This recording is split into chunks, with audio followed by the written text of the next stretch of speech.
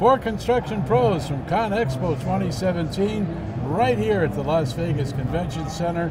And with me is John Dotto, who is a brand marketing manager with Case Construction Equipment. Welcome aboard. Thanks for having me. Well, you're more than welcome. You're taking time out of a very busy schedule. It, it's a busy day. It's a busy day. And it's busier because you have a super secret piece of equipment. Well, the uh, the, the, cat's out of the bag uh, now, but uh, yeah, we, we brought a, a concept. No, vehicle. no, no. It's the case is out of the bag right now. The case, the case is out of the bag.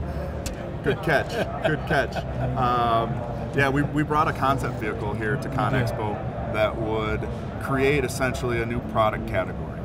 Um, we've got contractors using large CTLs in earth moving applications uh, as small dozers, but what you what you lose when you put a blade on the front of a CTL in a traditional style right. is some of the, the, the, true gradability and pushing power because you're not connected through the frame of the machine, you're hooked up to the loader arms.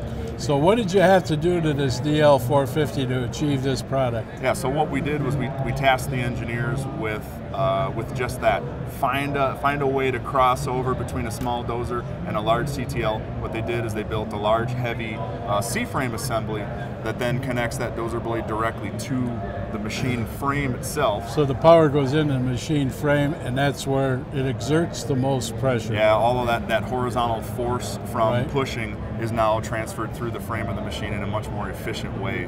Um, and then what you get in that is uh, now we're looking at that machine has dozer style control sticks in it, really? not CTL style. Um, so you get the full six-way functionality of that dozer blade. You can put a bigger blade on it um, because it's just a, it's a, a, better, more efficient package.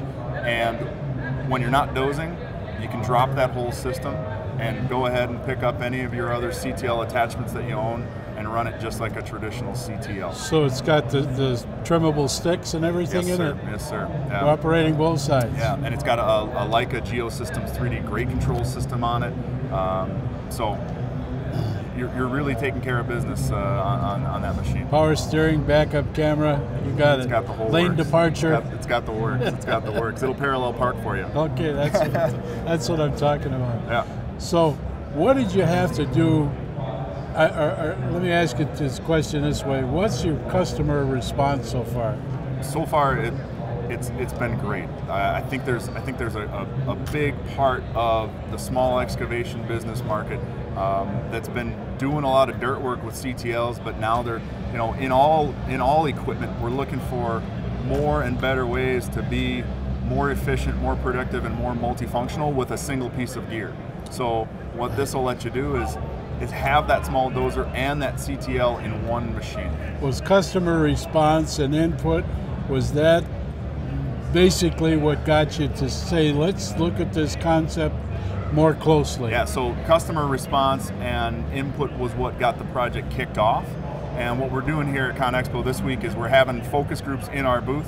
Uh, we're inviting contractors to come talk with us about what they see here uh, and tell us if we're headed in the right direction. So when we go to the next phase of development for this project, okay. we know that we've got customer input, and that's what CASE is all about, is, is making sure that we're not just building and designing in a bubble, but we're actually creating a machine uh, that, that, that our customers are looking for. Well, I know you're in the North Hall because we're neighbors. You're right next door to where our booth is yes, located. Yes, sir, yes, sir. And it's huge. This is a huge booth. How many pieces of equipment, just offhand, do you have offhand, in this booth? there's there's got to be about 60 pieces of equipment I in that would say it's just immense. It's about the size of a football field, just not the same shape.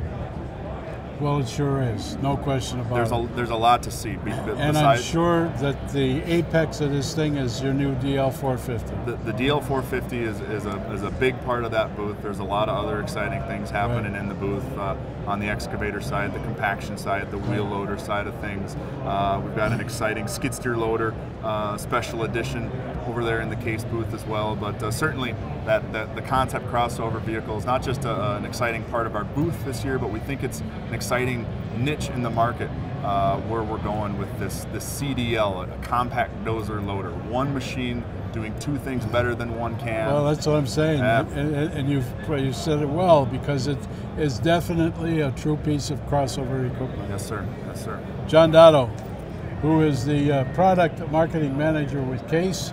This your little baby, huh? Yes, sir. You're going to take care of it now. Yes, sir. Absolutely. Pleasure to meet you. Thanks for coming over and sharing your story. Thanks, Rod. From Con Expo 17.